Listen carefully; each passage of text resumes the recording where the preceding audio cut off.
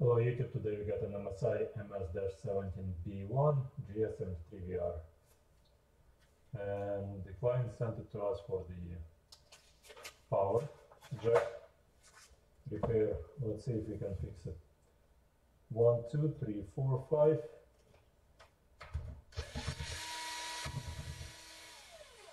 So five screws here, one, two, three, four here, one, two, three, four, five, six, seven, eight, nine.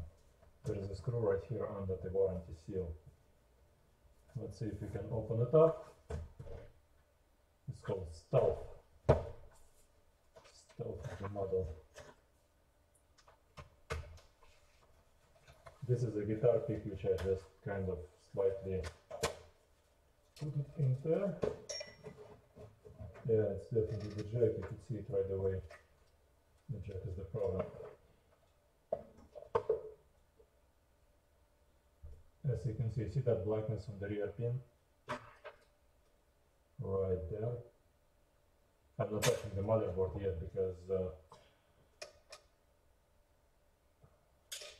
because um, the battery is still connected, so we need to disconnect the battery first. Hopefully the camera gonna stabilize, otherwise it's gonna be really annoying. So here.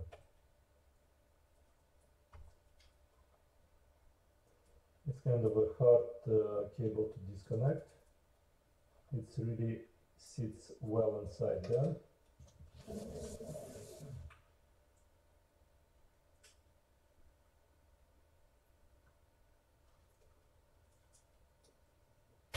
Like that. Like that. Okay.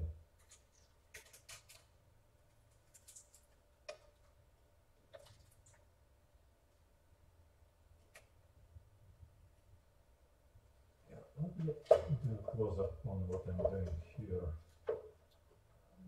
That. Alright, good job. So here is this hinge, the black part needs to be rotated outwards. Then you remove it like that. This part, that part, and that part. This end you remove, that end you remove, and this guy you remove as well. I'm not sure if I need to remove the battery. I think it's glued in. Yeah. If I try to remove the battery, the battery might crack uh, because it's glued to the place. So the cells on the battery might crack. Okay, so we disconnect this part. We disconnect uh, here. Let's mark which one goes where. Like that. And lift it up like that.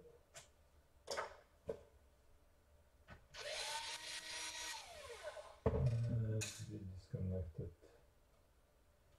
that and like that. Okay. Good job. Now we remove this insulation right here. And carefully because that's the LED LCD cable. Hard to say which one is which. So here the black hinge needs to go up. Carefully, don't break the hinges. And we set it like that. Here we got uh, one, two cables here. Like that. Like that. Okay, let's disconnect this guy. Let's disconnect that guy. And then we got this speaker cable right here. Which we disconnect right here. And then we have the cable right here for the fan. We should disconnect like that. Stealth. Stealth. Okay. Alrighty. And, and that's pretty much all I got here. So let me mark all of the screw locations. Here, here, here, here, here, right here, and right there,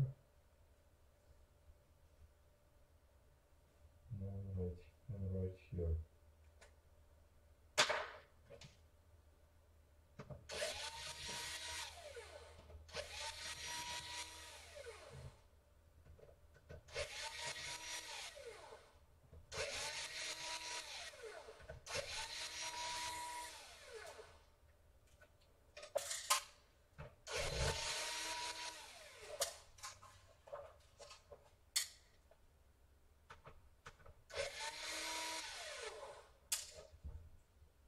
Okay, like that, like that, like that, and like that, and one right there. Okay, here we got the CMOS battery right here that needs to be removed. So we set it like that, set this guy like that, like that, like that. And this is almost good. I think we need to get the fan out.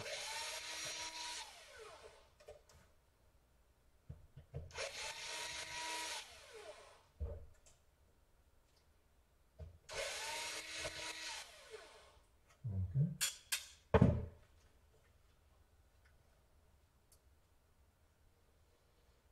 Just to be careful, I will disconnect this guy too. And uh, that's that. You want to set those cables as far out so that when you when the time comes to reassemble it, you will be able to find everything where it needs to be. Okay. So how do we move this whole thing? Now, those of you who would say, dude, you need to look up the instructions on how to take it apart first, and then show us the video. Well, the instructions are going to be written after the video by somebody who's going to watch the video. So you can watch the instruction first. Alright, so let's let's see why is it not coming up. Yeah.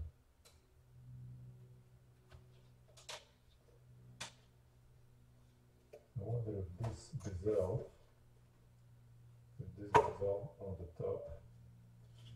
Alright, so those thing harder get disconnected by itself. Yeah, I think maybe the bezel itself can come out. Well, let's try and kind of force it a little bit. Sure there is some glue someplace. Okay, here we can force it because the hinge right here, not the hinge, but the USB port. Okay, so like that. The USB port right there was, the port is dented in and it doesn't, didn't want to come out because of that. Alright, so like that. And here, we get the interference with this board. Alright, so here. Now this cable needs to be slid outwards. Uh, like that, so here. No need to write, no need to read any instructions before And So we got this and like we always do, we put some Kapton tape onto the soldering, not onto the soldering, but around the area where we're gonna use the hot air station to to desolder the to desolder the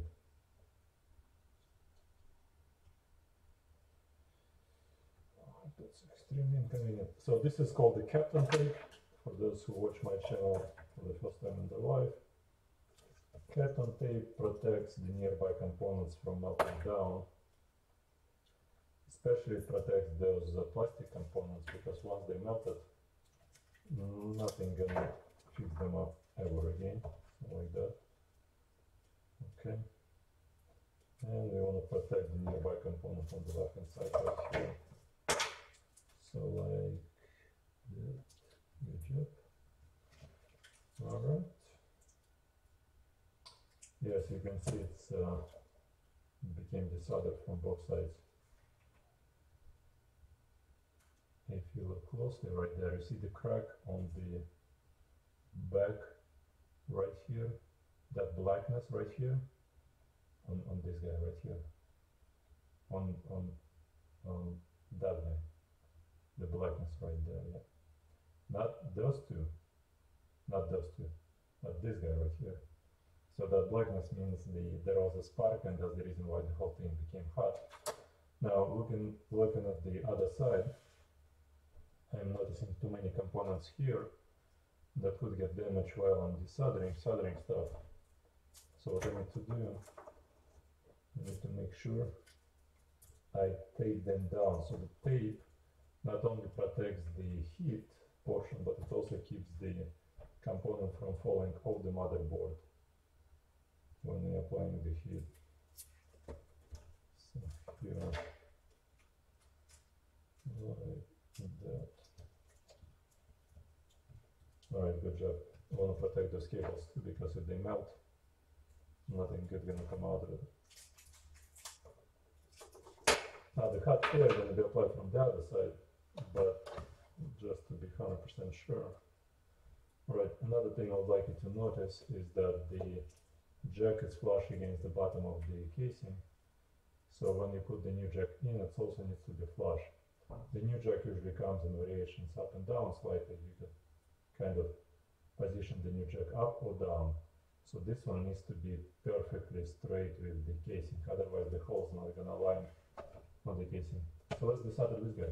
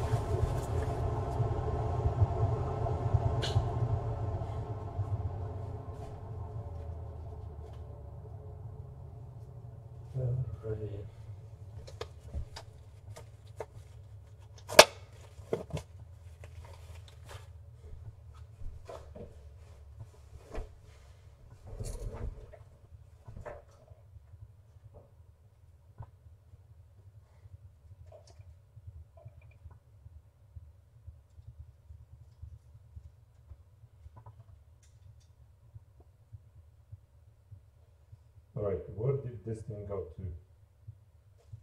Right here, right? So we need to put it like that, right? Right, like that. Good job, good job. Okay, so those guys need to be right here. We need to lower it by placing this motherboard right here, like that. This one goes up here, and well, let's let's double check if the hole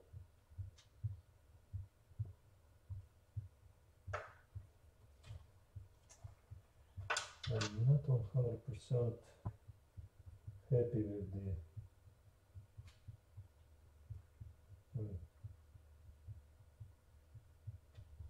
I mean everything goes in and out just fine. Give me one second. Alrighty, clients are calling, asking questions. So here, let's uh, connect the the speaker.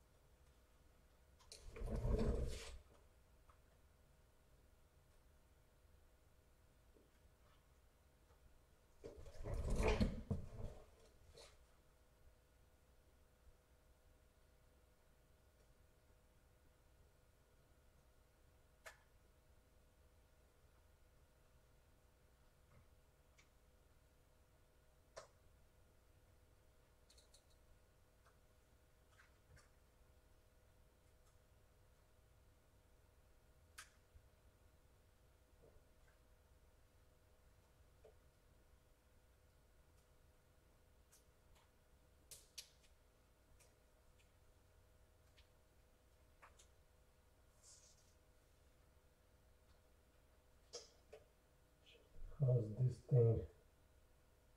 Was it bending the cable like that? Wow. Um, is there anything I can do better here? Do I need to bend the cable too?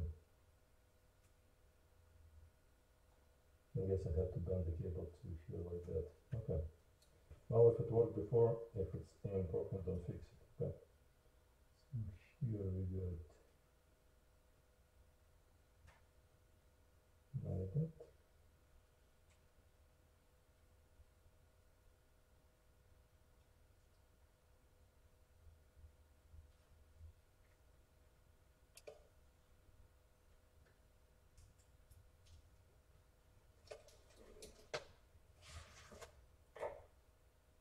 Okay, good job. Now, I have three screws that uh, are securing the and right here. Okay.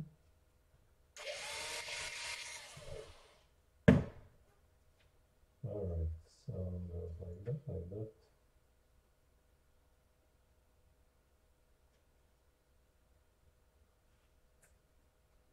Like that.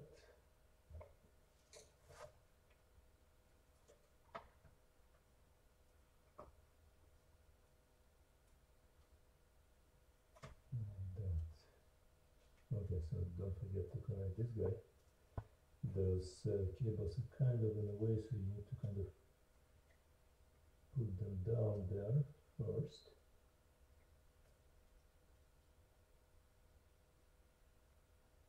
And then close it down like that, okay? And then we got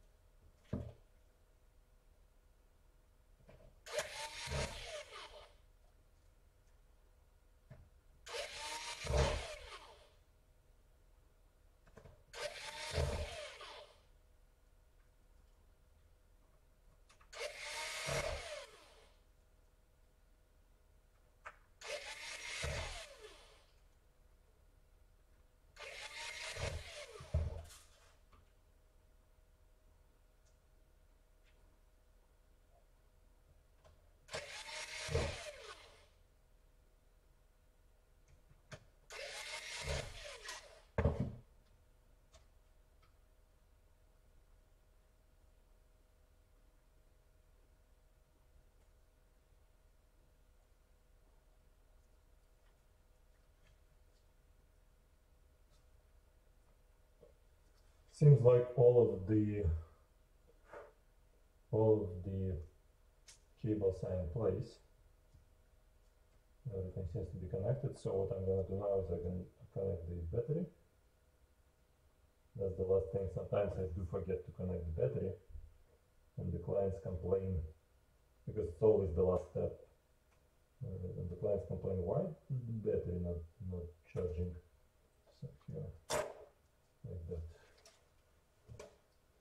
And uh, let's drop the cover. Yeah, everything's connected. This thing is guided through perfectly fine. Let's. What I want to do is I want to insulate this area right here because the because the casing is metal and it could touch the touch the soldering points. So we are covering everything down.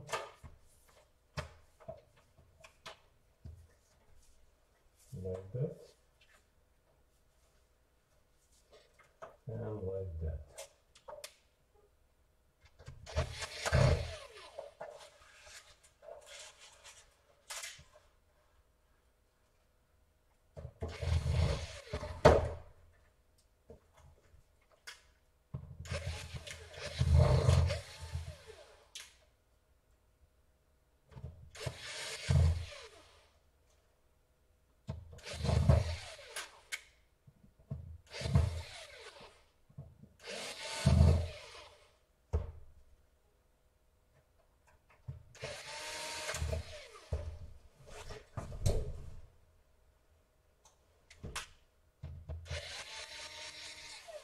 Alright, so the thing here is this cover needs to be under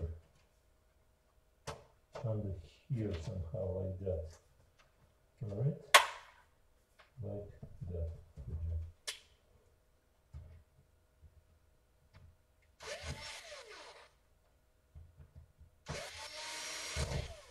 Like that. Like that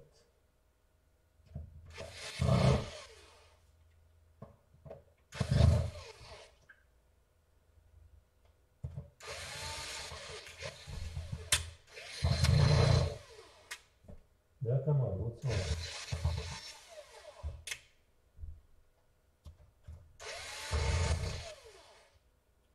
Is it a bad screw or is it just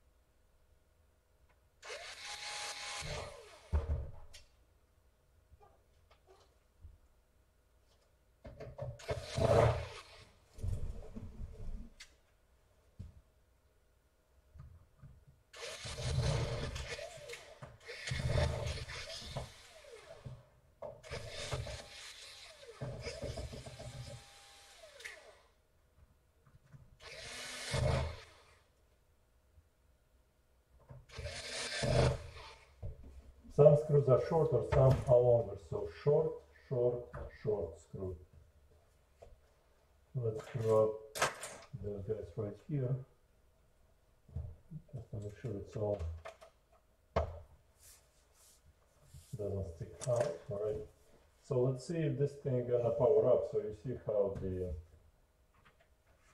how the jack hole kind of aligned and not aligned, but everything is everything is functionable, so to speak.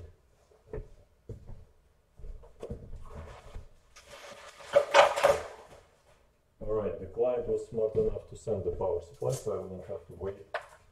So you don't have to wait for me to look for the power supply. Um, and, alright, so let's see. Probably because this is the first time we connect this power supply, there's gonna be sparks flying. Here's the problem, the, the plug itself doesn't look great, so I don't want this plug to break the jack again, so let's see how how well, not well. It seems like the plastic is slightly melted right here. Let's see if it's gonna work.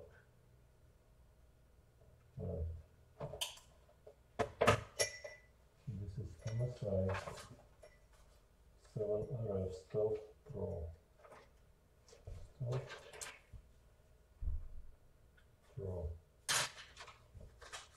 Mm-hmm.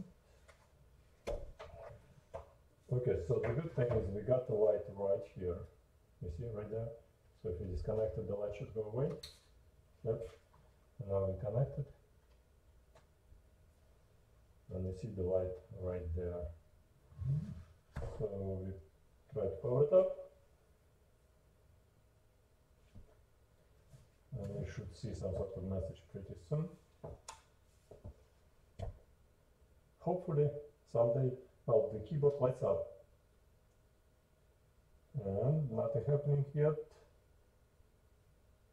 Well, three, two, one. and nothing happening. So yeah, give it a second. Maybe it needs to charge up the battery just a little bit before it's gonna power up full force. All right.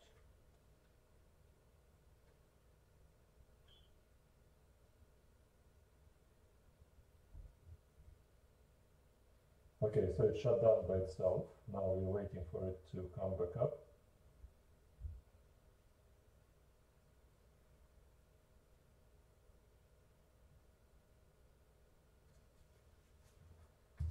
Alright, so still waiting. So it shut down one more time for no reason. Ah, let's see. Alright, so finally we got something on the screen. Well, we had something on the screen a second ago. Yeah, right there, MSI. Alright.